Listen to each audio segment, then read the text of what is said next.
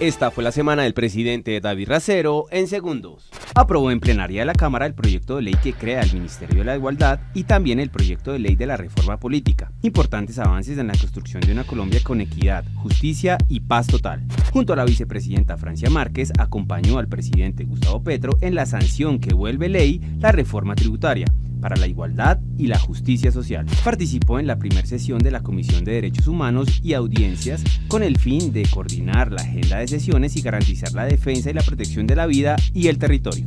Y finalmente recibió al Frente Amplio de Uruguay y a la COPAL, el más importante foro de partidos políticos de América Latina y el Caribe.